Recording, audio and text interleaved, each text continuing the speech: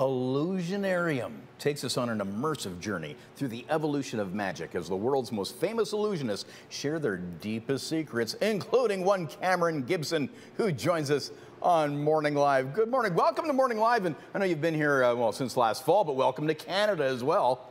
Thank you, Bob. Thank you for having me. Absolutely. Yes, you, you, arrived in Canada like uh, smack dab in the middle of a pandemic. We're actually more fun outside of a pandemic. How do you quarantine a magician? Oh, it was tough. I actually arrived uh, about two weeks before we went into that really long extended uh, extended lockdown, and uh, and then when I got out of my quarantine, I was uh, I was here, and as soon as that happened, everything shut. So uh, I'm just starting to experience Canada a little bit more now. But uh, but yeah, it's hard to keep a, a magician locked up for sure. That's right. Well, we can't wait to experience Illusionarium. It's at the Toronto Star Building, One Yonge Street. So this takes us through as I mentioned, the evolution of magic, uh, some of the great eras. There's like, what, four themed rooms?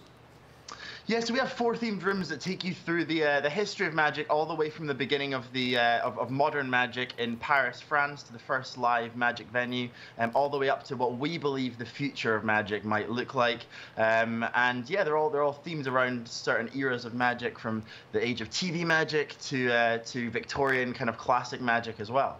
Do you have a favorite era?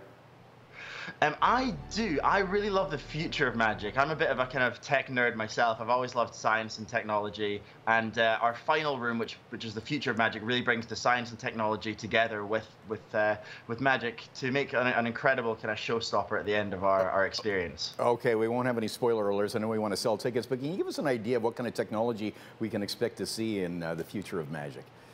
Yeah, so I mean, immediately, actually, in our first room, you will uh, you'll see a live hologram of uh, of Houdini comes to explain a bit of the history of magic, which is an amazing piece of technology right off the bat. Um, and when you get to the end, we've got everything from uh, 180 degree LED screens uh, to lasers and, uh, and an incredible light show, um, as well as uh, I think we've got something like 200 sort of TV screens around the place that do various different magical things. Very cool. And I know you've worked with uh, Greg Frewin, who's a regular on this show, but nice to see that Illusionarium also honors uh, one of Canada's great magicians, uh, the late Doug Henning, who we lost in 2000.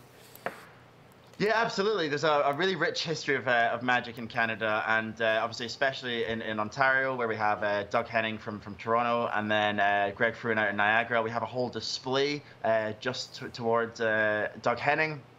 And we uh, even have a few bits and pieces of, uh, of Greg's as well, actually. We have the barrel that he went over Niagara Falls in about six months ago uh, on, dis- on a nice display, as if it looks like it's going over the falls, which, which looks great. Yeah, that's pretty cool. Now, what's your specialty?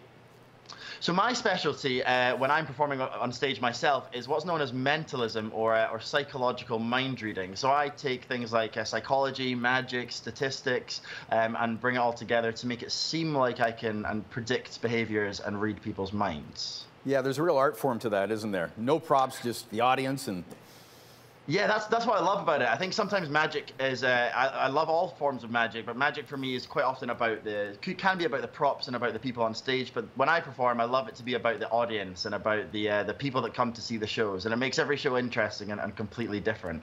Yeah. Now, did you always know you're going to be a magician, or did this come later in life?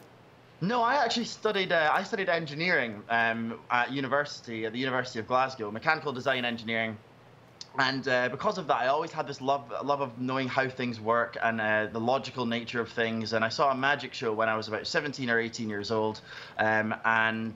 Uh, in fact, the magician was a British magician who now I believe lives in Toronto. I've not confirmed this yet, uh-huh. um, but I just I just had to know how it worked. You know, some people enjoy the magic. I didn't. I had to know how it worked, and I, I loved it so much that I uh, I made a, a career out of it.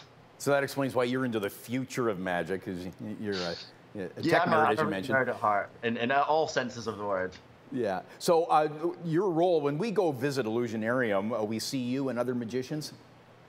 Yeah, so we have a cast of, uh, I believe, around about 30 uh, performers at the moment um, from various different backgrounds of, of magic and theatre. And uh, depending when you go, you'll see a, a different person do uh, do the shows slightly differently. Um, all the tricks tend to be the same, but everyone performs them in their own style and gets their uh, gets to show their character a little bit. And it's uh, it's amazing to meet so many kind of interesting, creative people, especially for someone who's just moved here. Uh, to get to work with all these um, this amazing cast uh, right off the bat has been a real treat for me. Well, we're going to send many uh, Morning Live viewers your way. I'm sure they're very interested in checking out Illusionarium. So it goes to uh, August 29th. We'll hook up the website uh, at our website, chch.com, so people can get more ticket information. Thanks so much for sharing it with us, Cameron Gibson. Not at all, Bob. Thank you for having me.